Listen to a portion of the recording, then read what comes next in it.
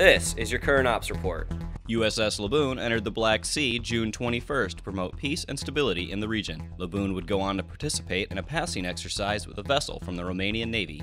The event included a series of ship movements, a threat detection drill, and a visit board search and seizure evolution.